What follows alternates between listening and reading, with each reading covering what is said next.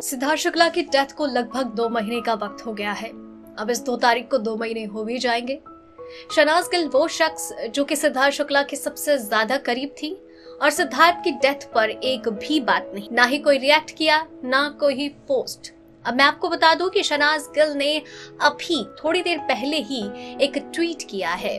जी हाँ दोस्तों, शहनाज गिल ने 12 बजे के बाद ये ट्वीट किया है, तू मेरा है और सिद्धार्थ शुक्ला हैशटैग सिद्धार्थ शुक्ला तो हार्ट और एक स्टार जी हाँ दोस्तों, साथ में पोस्टर शेयर किया है तो यही है my heartfelt tribute to Siddharth Shukla ji हाँ दोस्तों, और ये कल दोपहर 12 बजे रिलीज़ होगा।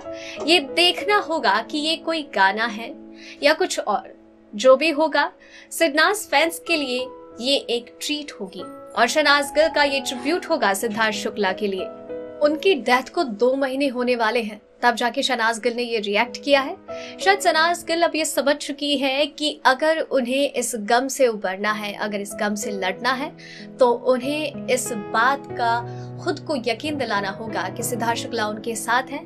अगर वो यहाँ नहीं भी हैं, फिर भी वो यही हैं।